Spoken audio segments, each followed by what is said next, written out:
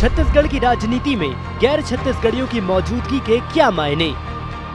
छत्तीसगढ़ क्रांति सेना के गठन से क्या वाकई होगा छत्तीसगढ़ियों का विकास?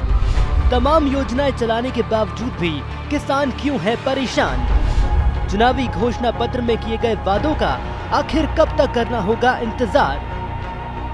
राम गुलाम सिंह ठाकुर, छत्तीसगढ़ क्रांति सेना के मार्गदर्शक से खास बातचीत।